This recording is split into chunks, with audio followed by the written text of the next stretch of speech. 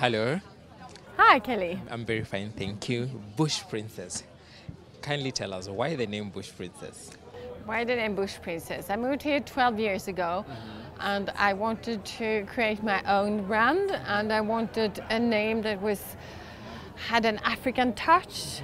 Uh, but you can also use uh, in Europe or in, in America or you do a safari. So I thought Bush Princess because the woman who wears- wears the bag, she is a Bush Princess. Yes, yes, yes, definitely. And now, for, it's been 11 years, like you said. How has been the experience so far?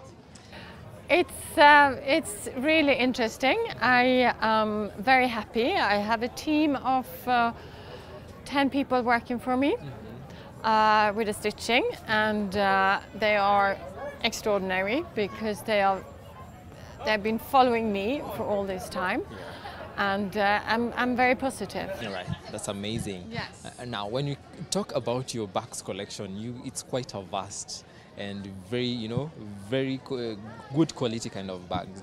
So, why did you decide to do bags, or is it only the bags, or do you, you do other things as well? Uh, no, why I decided to do bags because I have an experience with bags in Europe. Uh, I lived in Paris before, so we had a collection there made um, and had three shops. So I wanted to show the world outside that in Africa we can make good quality bags mm-hmm. All right. Mm-hmm. and we can do them as as good as in Europe Yeah. and with the same kind of design. Yes. Now I can see you have quite, you know, amazing, big, big design, different designs, quite a number, and I've seen also beaded work over here, like this one. Do you do bead as well? So I'm, I'm using a group of Maasai women who has been with me also for, for almost the same amount of years, 11 years. And um, I encourage them to bead so they can pay for the school fees. So it's like a, not a charity, they are paid, of course.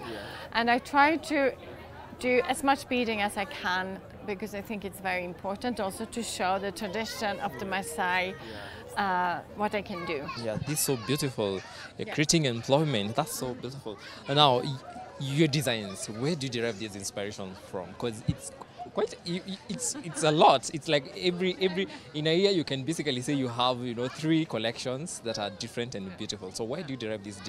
So I get the inspiration from here, from uh, Kenya. I particularly like to go to CBD, to downtown. I like to walk around where everybody tells me I'm crazy, but I love it because it's really where you see people, it's busy, it's and you It's kind of refreshing. it's kind of refreshing, exactly.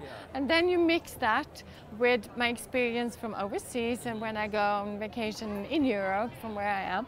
And then you look at the colors from here and the colors of uh, how people wear colors here. And that's, that's how you then figure out the collection after that. Yeah. So no- so no, now this journey, how has been the experience on the business perspective? It's, I like it. It's challenging because as I'm a, a perfectionist, everything has to be perfect because also I do my export to, to Europe and to, to America. It, need, it needs to be, and I, I want it to be as perfect as a bag that's made in Europe. Uh, so I would never grow more than I do today because I am the one who's supervising everything myself. So I don't have a supervisor. I have a team of, of um, people stitching and then I'm supervising uh, the finishing. Uh, so I wouldn't grow. I like to work like that, and I like to work very closely with my with my staff. I also work a lot with um, people who are doing brass. Yes, because I can see you, have, you you've done quite a lot of Exactly. uh, design, uh, Yeah. de- decorating, Exactly. which is so beautiful. So this is all made in Kenya and it's all recycled brass. And I'm very proud to say that this brass and these hooks are exactly the same quality as in Europe. So it It's so beautiful. yeah. All right. So how about these uh, decors uh, for the? This is my bush princess. So it's depending on how, it's the logo exactly. So it's a Oh, yeah, there's a B and there's a P P, as well. and then you can do it different. All right. So you usually play with the logo. This is so beautiful. Yeah, so Yeah, nice. and all the rings and everything is made here. The leather is also locally sourced. It's from uh, Athi River, so there is a big tannery. I do my colors myself, and uh, yeah, different touches as well. and different touches exactly. I have some suedes, I have some leather, and uh, Now, b- before we wind up, how do you take care of these bags? Whoever gets a Bush Princess kind of bag, how will you tell them to wipe, use a neutral kind Yeah. of uh, polish? The thing is, for the leather, you can just uh, wipe it a little bit because it's a little bit dusty in Kenya sometimes when it doesn't rain.